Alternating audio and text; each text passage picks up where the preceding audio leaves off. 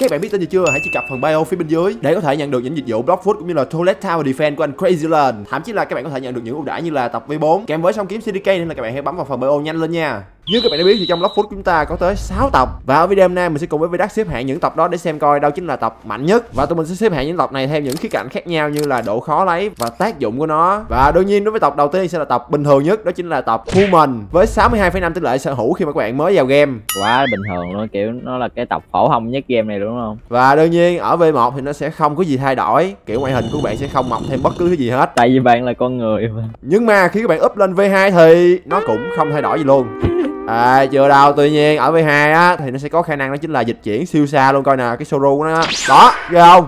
hoài fan nha. Ờ em dịch chuyển thôi Rồi, được rồi. Không được bấm nút gõ không được. Em chuyển tới đâu tới đâu? Đây nè Đó các bạn thấy không? Những cái tập khác á, thì nó sẽ dịch chuyển không có xa bằng Human. Nhưng mà khi lên V3 thì tập Human nó lại à, phế đi nữa. Tập V3 của nó so với mấy tập khác khá là phế nha Bởi vì nó chỉ gọi là tăng đam thôi. Càng đánh càng mạnh nhưng mà kiểu gần hết máu là mình đâu mạnh nổi nữa. Tới lúc đó là 36 kế chạy là hưởng sách nha các bạn. Rồi thì bây giờ mình sẽ review V3 của nó cho các bạn xem nha. Đó chính là quýnh cái. À, nhưng quái này không dành cho mình review hay sao? Ok thì mình sẽ đi kiếm chỗ nào đó có quái mạnh hơn tí nha Chứ bên kia quýnh cái nó cút rồi. Đây thì bây giờ mình sẽ quýnh một cái nha. Nó sẽ gây ra 834 đam đúng không? Nhưng khi mình bật cái tập Human V3 lên thì Mày Mày 855 đam các bạn. Nhiều quá vậy? 855 đam. Thì đó lý do mà tại sao mình nói tập Human này phế các bạn. Nó tăng đam nhưng mà tăng không nhiều cho lắm nha. Đâu thử em để anh đánh em đánh anh hấp máu nhất có thể nha. Ok quýnh anh xíu ơi. Rồi bây giờ mình sẽ test thử tập Human. Ở cái dạng máu thấp coi được bao nhiêu đam nha các bạn. Mày 1.000 đam Wow. Tăng khá nhiều luôn á chứ. Thì cái tập này á Nó dành cho các bạn kiểu như là gần hết máu Rồi bật lên lật kèo các kiểu á Nhưng mà nói chung thì nó cũng khá là phế ha. Rồi bây giờ sẽ đến với V4 của nó nè Là đây. Mày Mày Mày.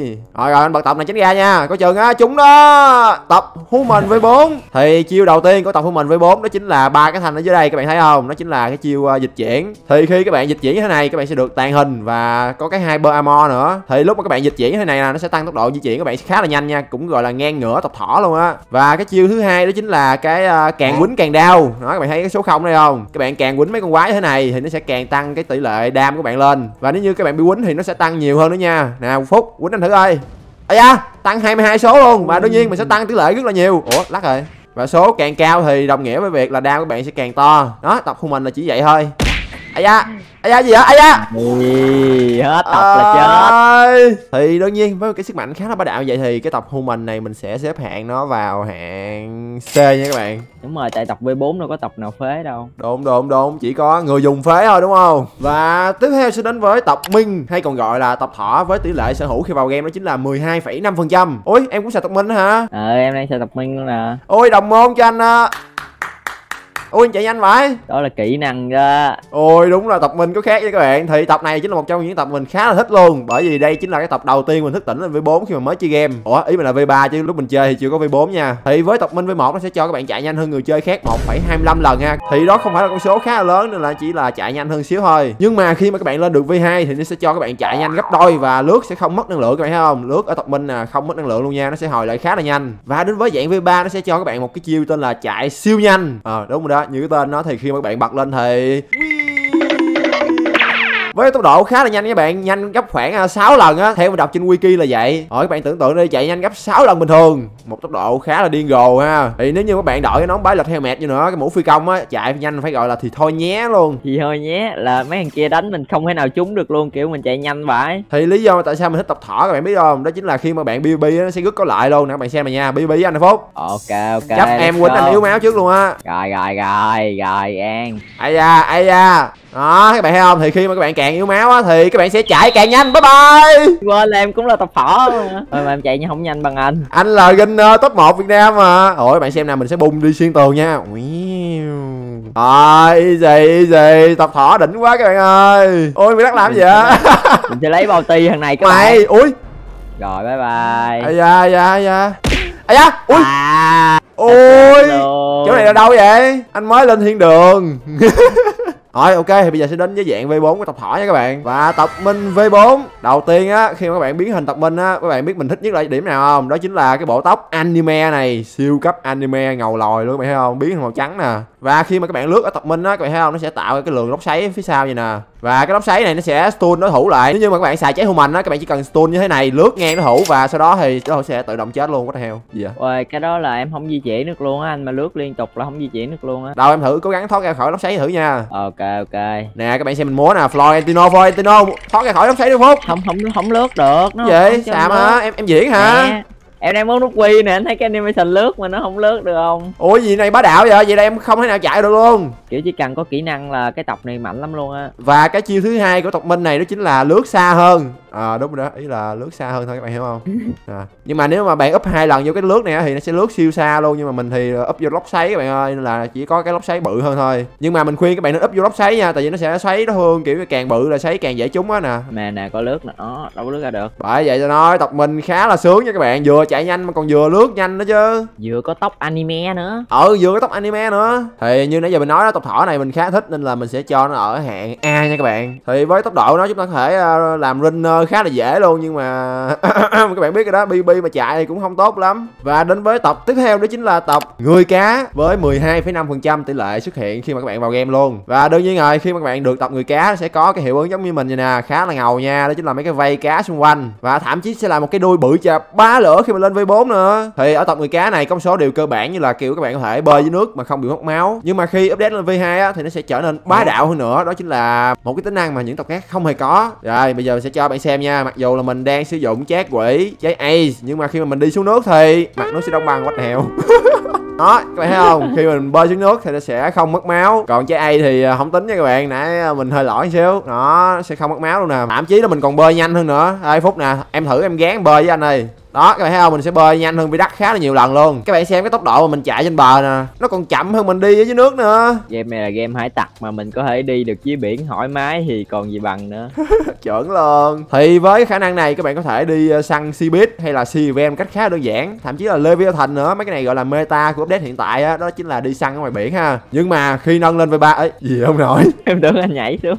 Có đâu khùng hả nhưng mà khi mà nâng lên V3 thì nó sẽ còn bá đạo hơn nữa. Đó chính là khả năng water body với cái chiêu này thì các bạn sẽ được bao bọc cơ thể bởi nước và nó giúp các bạn giảm 62,5% đam nhận vào trong vòng 6 giây. Nhưng với đắt vậy nè kiểu ông chùm BB Việt Nam bạn BBB với nó thì nó sẽ có những combo one shot cái kiểu đúng không? Nhưng mà giờ em thử combo này. Combo nha one shot á. Ôi da đó bật tập V4 các bạn. Wow điên rồ vậy.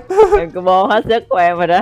Nếu như mà chúng ta sử dụng những tộc khác mà bị combo one shot á thì chắc chắn là cút luôn đúng không? Nhưng đối với tộc cá thì sao? Chúng ta chỉ cần bật lên là easy thoát khỏi combo luôn. Và lúc đó thì chúng ta Giảm chỉ cần hả? combo ngược lại thôi. Mày thôi đúng là ông chùm bb việt nam các bạn. Mặc dù mình bb cũng lỏ nhưng phút vậy ây da mới Nãy mạnh giờ chứ mình vậy? giỡn Nãy giờ mình giỡn Mình không biết giả bộ không biết tung- ờ ồ ấy anh được V4 luôn nè bật tập V4 nha cảm ơn. Wow và đương nhiên khi bật tập V4 lên thì nó sẽ biến cái đuôi của bạn thành màu trắng. Ui giống tộc minh V4 mà nhưng mà phiên bản ngầu hơn nha bởi vì body các bạn sẽ được bao phủ bởi nước thật sự luôn nè. Và có một cái mập bên xung quanh nữa nhìn ngầu vậy. Ê, em thử quýnh mất cái giáp của anh thử rồi ồ quýnh mất cái giáp là cái giáp bên ngoài mình cũng bị biến mất luôn. À, khi mình quýnh mình quýnh chúng đối thủ á, thì đối thủ sẽ bị làm chậm rồi các bạn thấy không? Và thậm chí thì cái giáp máu nó sẽ được tăng lên nữa ôi tộc thỏ mà chạy chậm chứ à? Chậm hơn bình thường nhiều lắm luôn á. Ờ bình thường em phải chạy nhanh hơn anh gấp 6 lần luôn á. Đó mặc dù vì đó là tộc thỏi nhưng mà nó chạy không lại tộc à, người cá luôn nha các bạn. Ờ nhưng mà chiêu của tộc người cá chỉ vậy thôi chứ có cái giáp nước với là làm chậm thôi hiểu không? Ờ nói chung thì mình cảm thấy khá thích tộc người cá nha. Nếu như có cơ hội thì mình sẽ đi thức tỉnh tộc người cá cho bạn xem bởi vì tộc này khá là khó thức tỉnh á nên là mình để tới à, mấy video sau mới làm. Nếu như video này đạt được uh, 5 000 like thì mình sẽ hứa sẽ thức tỉnh tộc người cá V4 cho bạn xem nha. 300 ngàn like mình sẽ mời Vĩ vô cho em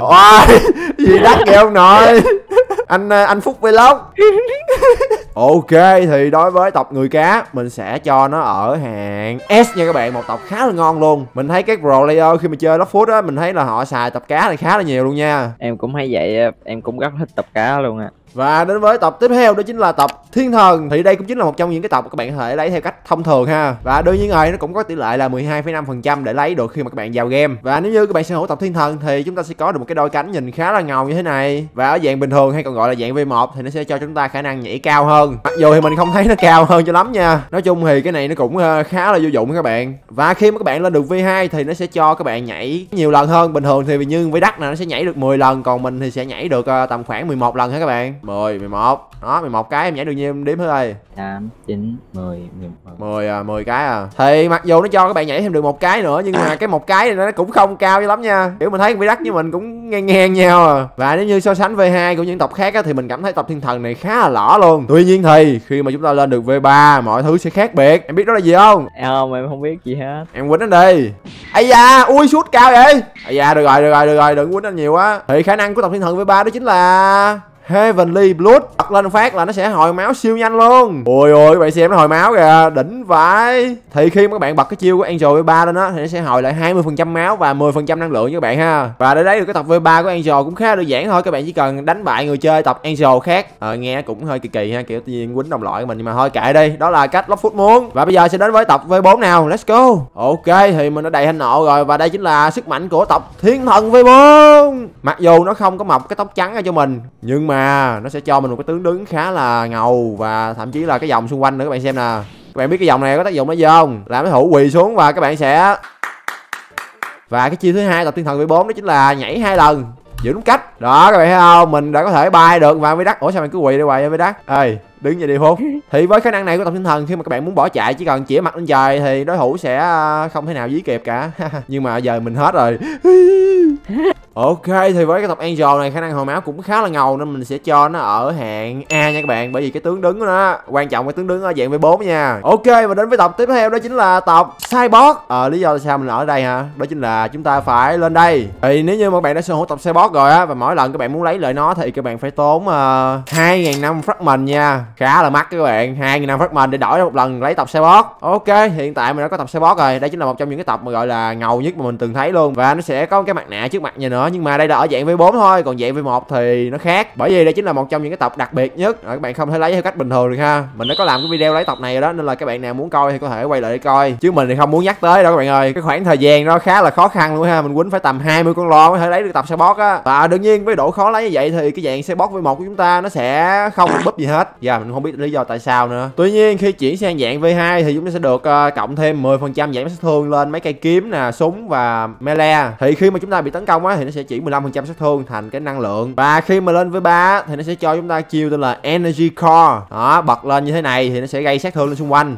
5 k tư đam. What? Tờ heo. Và thậm chí là khi bật lên á nó sẽ cho chúng ta giảm sát thương 30% trong vòng 6 giây. Rồi xong nó còn phá ken đối thủ các kiểu nữa. Nãy em bật ken không được đúng không? Đúng rồi. Nên đây chính là một trong những tộc mà gọi là có thể đem đi PvP khá là ngon luôn. Rồi mình sẽ cho các bạn xem lý do tại sao tộc xe bot này đáng đồng tiền bát gạo nha các bạn. Mặc dù nó khá là khó lấy nhưng mà rất là nhiều người muốn có luôn. Biến hình Cyborg V4 lúc này thì tám cái cánh của bạn sẽ chuyển sang màu hồng và các bạn sẽ có cái aura nữa. Đó chính là chiêu đầu tiên. Nó sẽ là chiêu nhảy cao nha. Các bạn chỉ cần nhấn nút cách như thế này spam và nó sẽ nhảy khá là cao luôn. Thậm chí có thể gọi là cao hơn tộc Angel lõ lõ nãy nha. Má tộc nãy gọi là nhảy cao mà không nhảy cao cho lắm. Rồi và khả năng đặc biệt tiếp theo của nó đó chính là quýnh lan. Rồi đúng như tin gọi luôn các bạn chỉ cần quýnh một thằng thôi thì thằng kế bên nó sẽ bị lan đam qua. Nè các bạn xem này nha. Đó các bạn coi này nha. Đó đó đó đó. Ôi chết luôn rồi. Cái gì kỳ vậy? Anh vãi. Ôi thì nếu như các bạn hay bị uh, chơi teamer các bạn kiểu hai thằng ập vô quýnh mình bạn á thì các bạn chỉ cần một tộc xe boss như thế này thôi. Mày thì thằng kia nó cũng sẽ bị gây đam khá là nhiều luôn. Nè, và thậm chí à, bạn chỉ cần bật cái tập V3 thôi là thằng này sẽ tự động chết luôn rồi bạn xem này nha. Nó bật tập V3 lên và đứng ở đây.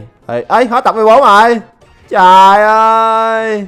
Nói chung cái tập xe bót này á, khá là xịn sò luôn. Nó ngang ngửa và thậm chí là còn hơn tập người cá luôn nha các bạn, Bởi vì nó có thể, gọi là, cân 2 cân 3 một cách đơn giản. Và đến với tập tiếp theo biết là tập gì không? Tập gâu Ui, hay vậy. Đối nhiên rồi bây giờ mình sẽ đi về Haunted Ship nha các bạn. Rồi, đâu rồi? Ở trong đây đúng không? Nhà bếp ở đâu? Nhà bếp ở đâu? Thì đối với tập gâu này á, Các bạn có thể đổi lại mà không cần phải mất phát mình nha. Nó ngon hơn tập xe bót ở chỗ đó đó. Thì với tập gâu này, nó sẽ dễ lấy hơn tập xe bót khá là nhiều luôn. Các bạn chỉ cần quýnh con boss trên thuyền này để lấy cái ngọn đuốc là có thể lấy được tập gâu rồi. Thì ở tập gâu này, nó sẽ mọc cho các bạn một cái sừng bự chập bá thế này nên là bạn nào có người yêu rồi thì đừng chơi tập gâu nha. Bị cắm sừng thì ờ, khổ lắm các bạn ơi. Và như các bạn biết rồi đó tập gâu này, đó chính là ma cà rồng. Nên là khi mà trời tối á, nó sẽ tăng cho các bạn 30% tốc độ chạy. Và khi mà các bạn lên được V2 thì nó sẽ cho các bạn khả năng hút máu nha thì ở dạng V2 các bạn sẽ có 5% hút máu lên mấy con quái. Các bạn thấy không? Mình càng quýnh máu mình càng lên nè. Và 25% hồi máu trên người chơi nha các bạn. Đây mình quýnh về đắt cho bạn xem nó sẽ hồi máu nhanh hơn nè. Đó các bạn thấy không? Quýnh một cái là hồi một khúc máu luôn. Nên là theo mình đánh giá thì dạng V2 của tập Go này khá là ngon luôn nha. Nhưng mà khi các bạn lên được V3 thì nó còn bá đạo hơn nữa. Bởi vì nó sẽ tăng cho bạn 5% đam 10% tốc độ chạy và và 15% phòng thủ. Tuy nhiên cái đặc biệt nhất đó chính là gì em biết không? Phải gì? Thì khi mà các bạn sử dụng mấy cái chiêu của bạn đó thấy không? Đó Và bật tập V3 của Go lên. Thì mặc dù chiêu các bạn chưa hồi xong nhưng mà các bạn có thể sử dụng nó lại thêm một lần nữa. Đó chỉ cần nửa thanh thôi vậy? là xài thêm một lần nữa được luôn. Vậy có khác gì hết đâu What the hell?